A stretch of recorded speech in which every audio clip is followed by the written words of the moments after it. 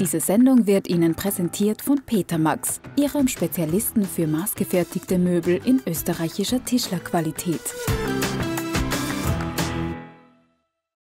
Hallo und herzlich willkommen hier im Peter Max Schauraum bei den Cooking Stars. Heute gibt es bei mir ein sensationelles Innereiengericht und zwar die bekannteste Innerei und auch eine meiner Lieblingsinnereien und zwar die Kalbsleber. Kurz gebraten, danach glasiert mit einer schönen Kalbsschü und karamellisierten Äpfeln.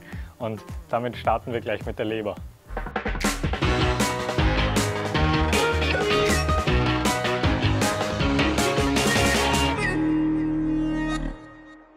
Ich habe hier noch einen halben Grammelknödel gefunden. Ich weiß nicht, wo der herkommt und ich weiß auch nicht, wo die andere Hälfte ist. Aber wenn er schon da ist, werde ich ihn essen. Mmh. So kann ein Tag starten mit einem schönen halben Grammelknödel. Am liebsten wäre mir ein ganzer gewesen, aber man kann ja nicht alles haben. Zurück zu dieser schönen Kalbsleber. Die ist jetzt schon küchenfertig, also ihr könnt das so beim, beim Fleischhauer eures Vertrauens oder, oder eurer Wahl küchenfertig bestellen. Das heißt, die feine Haut oben ist nochmal abgezogen, die Adern sind entfernt und das Fett weggeschnitten. Leber ist ja ein sehr, sehr feines Gewebe, das beim Braten sehr leicht zerfallen kann und deswegen eben hier nochmal in etwas Mehl gewendet wird.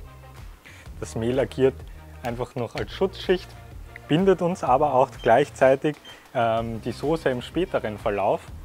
Wichtig dann ist noch gut ansalzen und das leicht festdrücken.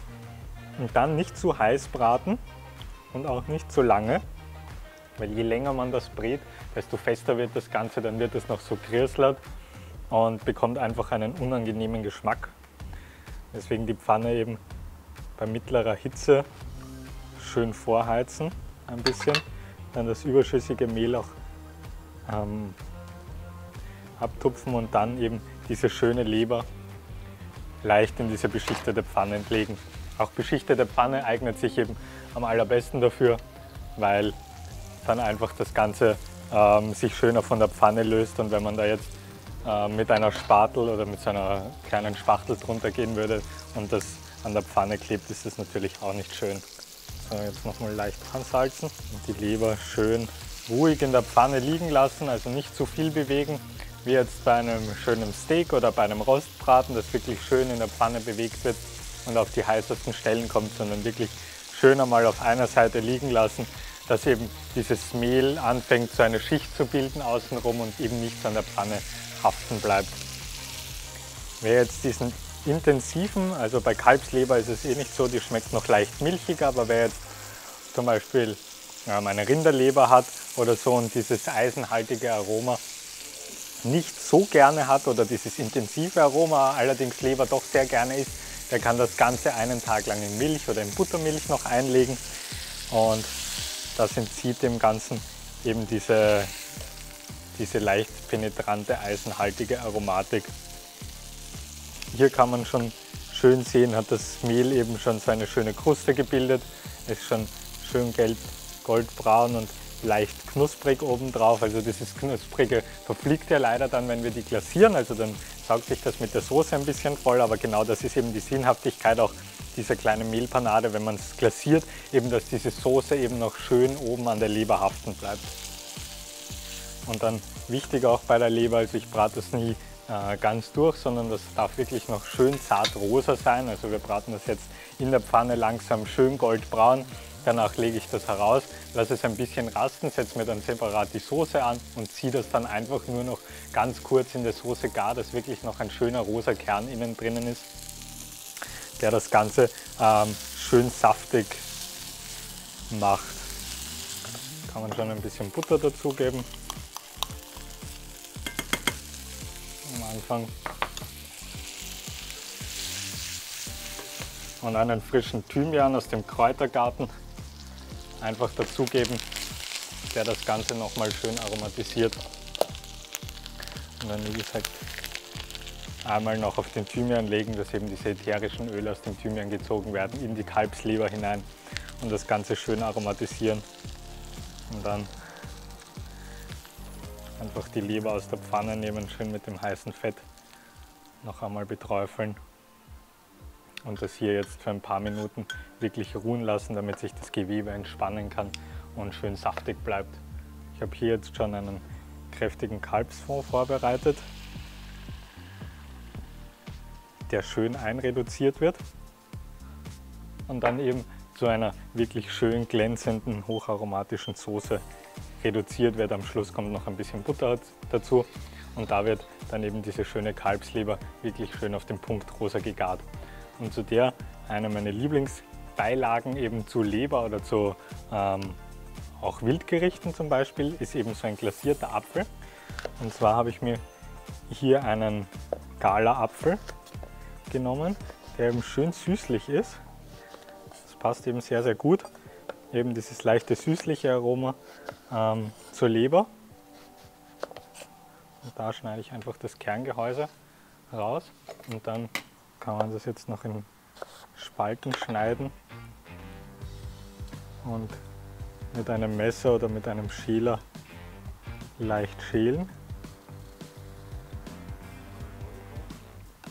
Und auch das Turniermesser, so heißt dieses kleine Messerchen, das eben diese gebogene Klinge hat und sich somit eignet, um Gemüse schön zuzuputzen oder eben auch diesen Apfel hier.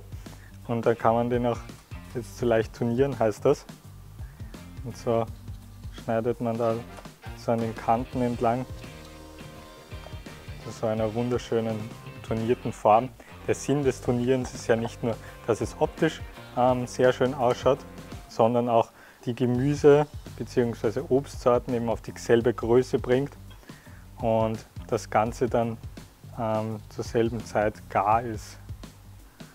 Ich muss ehrlich gestehen, es kommt nicht alle Tage vor, dass ich irgendwas turniere. Aber wenn ich es mache, dann echt gerne, weil ich finde, dass gerade diese alten sowohl Schneidtechniken als auch Kochtechniken nicht verloren gehen dürfen und es meiner Meinung nach jeder Koch zumindest einmal oder ein paar Mal gemacht haben sollte. Hat auch, wie alle Arbeiten bei mir, etwas sehr Meditatives, was ewig dauert, aber sich auszahlt. Und man kann natürlich über das ein oder andere nachdenken, wenn man dann doch ein Zeitl beschäftigt ist. Eine vierte Spalte mache ich noch, den Rest werde ich später essen. Ja, das reicht eben für diese schöne Portion an Kalbsleber aus, um da genug Süße und Aromatik beizusteuern.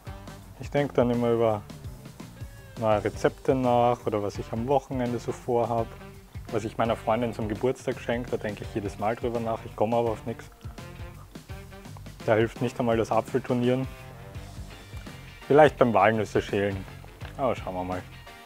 Wenn ihr übrigens gute Geschenke für Frauen habt, könnt ihr es mir gerne schreiben. Ich habe nämlich nie welche. Leider. Aber ich nehme gerne Ideen an. Außer gutes Essen. Wenn ich ihr jedes Mal nur was zum Essen schenke.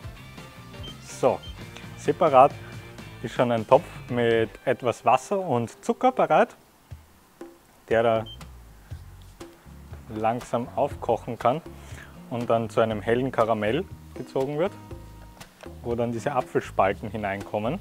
Wichtig auch, wenn man einen Karamell ansetzt, also es ist am Anfang immer leichter, weil man ein bisschen Wasser dazu gibt. Dadurch löst sich einfach der Zucker gleichmäßiger auf, der Zucker karamellisiert auch gleichmäßiger und auch nicht zu viel bewegen, also nicht mit irgendeinem Löffel reinfahren, weil dann erstens klebt dann der Löffel voll mit Karamell und man kriegt das nie wieder runter. Und zweitens ist das dann auch besser für den Zucker, weil der durch mehr, also je mehr man ihn bewegt, ähm, fängt er dann an beim Karamellisationsprozess eben auszukristallisieren und dann hätte man so einen fetten Klumpen ähm, weißen Zucker dran. Also immer schön einfach stehen lassen, da kann nichts passieren. Maximal immer noch so ein bisschen herumschwenken und wenn er dann äh, langsam anfängt, also wenn dann die Bläschen immer kleiner werden und das Zuckergemisch immer dünkler wird, dann ist das auch fertig. So, das Karamell ist jetzt schön richtig, schön goldbraun dunkel. Jetzt kommen die Äpfel noch dazu noch leicht ansalzen und das Ganze eben mit weißem Portwein oder einem Weißwein ablöschen, um erstens die Äpfel noch ein bisschen zu garen und um das Karamell eben schön vom Boden zu lösen. Schön da einkochen lassen. Die Soße ist schon fertig reduziert. Da kommt jetzt nur noch die äh, Kalbsleber rein. Wird noch einmal schön glasiert von allen Seiten und noch ein bisschen auf rosa gebraten. Und dann haben wir eigentlich schon alles bereit und sind fertig zum Anrichten. So, die Leber und die Äpfel sind jetzt fertig. Und jetzt schneide ich nochmal die Leber schön an. Eben da in der Mitte noch wirklich herrlich rosa, also wirklich nicht durchgebraten und zäh. Und jetzt habe ich eben dann noch gerne eben frischen Apfel bzw. frischen Schnittlauch noch oben drüber und dann eben diese wunderbar intensive, schön eingekochte Soße mit dieser fast sirupartigen Konsistenz.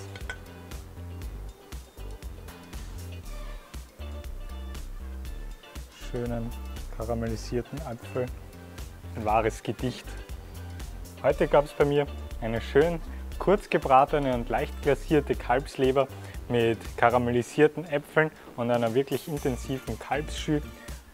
Man kann hier schauen, wie schön rosa die Leber eigentlich gebraten ist und dadurch noch diese schöne cremige Textur hat und nicht dieses grieslerte, ähm, eisenhaltige Geschmacksbild bietet. Ich wünsche euch viel Spaß beim Nachkochen und probiert es ruhig einmal nachzukochen, wirklich schön rosa auf den Punkt zu braten und nicht durchzubraten. Und somit wünsche ich euch einen guten Appetit. Bis zum nächsten Mal.